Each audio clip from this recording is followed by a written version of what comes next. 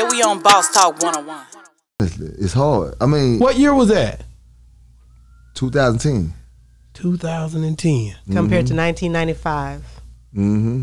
Man, and so you you left and niggas was barely they t- they was using technologies. Mm, everything. They, totally they, different. they was they, they didn't At even that cell time, phones. the- they didn't even have cell phones. BlackBerry was the thing. Yeah, Like, yeah, yeah, yeah, yeah, yeah, yeah. And when you came home, the BlackBerry. Yeah, was- that was a popular thing. yeah, because you didn't have none of that when you left. No, it was.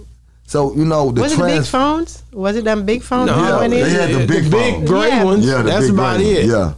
See, but the transformation was, was was crazy. You know why?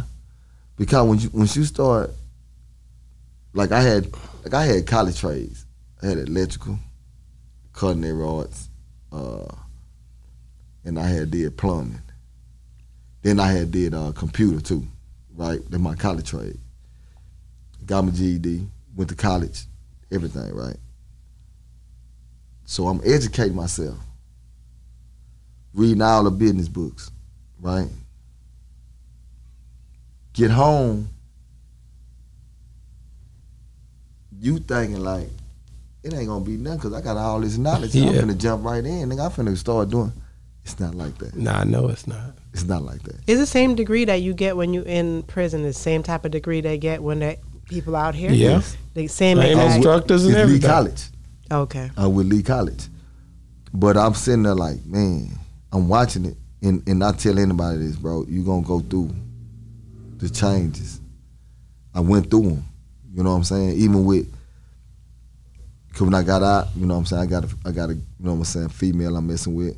You know what I'm saying? She held held me down for a nice little scratch, right? Okay, but you gotta realize something. She don't know what it's like to be with somebody like me. I'm not I'm I'm not normal. My actions is not gonna be normal due to the fact I've been gone for so long. So therefore therefore I sit back and I look at it, right? And I'm like, I've been gone 18 years. Mm-hmm. So just think about just think about that. I've been gone for 18 years. She have never messed with a guy that's been gone this long. That long. So I don't know how to I don't know how to be a man. So give me an example of a situation that you said that because you were gone that long and having a female now, what would be so different? Man, if Just give me an example. Just being affectionate. Affectionate. Yeah. That's definitely a big And deal. being affectionate. I mean, you gotta realize that I'm just being real. I'm thinking about pounding. Mm-hmm. No, you gotta know how to rub feet and rub shoulders and rub arms and soles. You gotta you know how. To, you don't know nothing. Gotta, but I don't know nothing about all of that. He left at 15. I'm mm-hmm. thinking all we gotta do.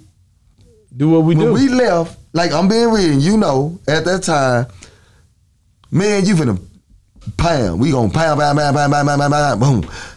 Okay, that's how we do it when you're young. You pound, pound, pound, pound. So you gotta realize now. Guess what?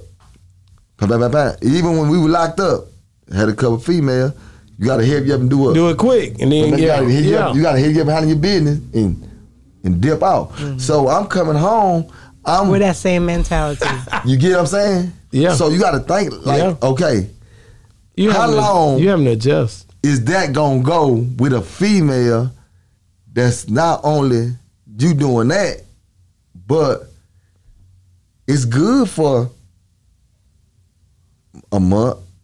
Yeah, it might be good for a month for her. Then, it- and then now it's like, okay, enough is enough now. Now, if you know, we, and she ain't try to teach you or tell you or none. she, I'm like, what can she say? because she don't want to be belittle you. You see what I'm saying? Mm-hmm. She don't want to belittle you. So what you got to do is you just got to pick up. You got to. And you told her that you were in prison and all of that sort of stuff. She No, rode she with him. stayed She down. down Oh, with she stayed down with you the yeah, whole she, time. she stayed down Okay, me for a that's- long A little time. period of time. Oh, yeah, okay. like she knew You know what I'm saying? Yeah. Okay, because like, you have a lot of guys who don't be trying to tell females because some females will try to use it against them. Yeah, but you know, she stayed down. That's then you good. gotta not only that, you gotta you gotta remember I'm getting out and I remember she used to say this. why do you when we driving? Why do you keep the window down? Man, I like the fresh air. no disrespect, but You don't even like the fresh air No, but now. I'm just saying if if if you've been through, it, it's the thing where you couldn't go outside because you was in a certain unit. You want to stand in the rain. You ain't standing in rain in a, almost a year. it's the prison air Yeah. not like the freeway air.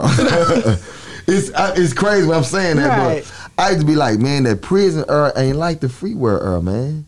The freeway air when you drive, man, I remember I got in the car when I came home and I just drove the freeways. What about when you come home and you and you've been around all these people all the time and you didn't have that privacy? Exactly. You see what I'm saying? That's a whole thing too.